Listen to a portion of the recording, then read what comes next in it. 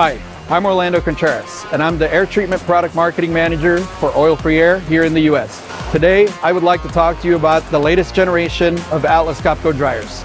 Introducing the BD Plus 360 to 1260 Twin Tower Desiccant Dryers, your solution to premium quality dry air. The BD Plus is engineered for peak performance, delivering a consistent pressure dew point of minus 40 degrees Fahrenheit to ensure clean, dry air for even the most sensitive applications.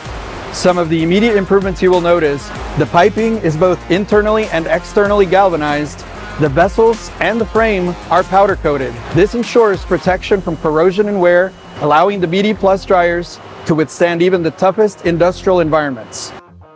To maintain precision, the BD Plus dryers are equipped with advanced monitoring technology, featuring the Vaisala pressure dew point sensor with a two-year recalibration interval. Additionally, the BD Plus dryers are fitted with the Elektronikon Mark 5 Touch, which comes standard with our innovative Smart Cycle Control algorithm.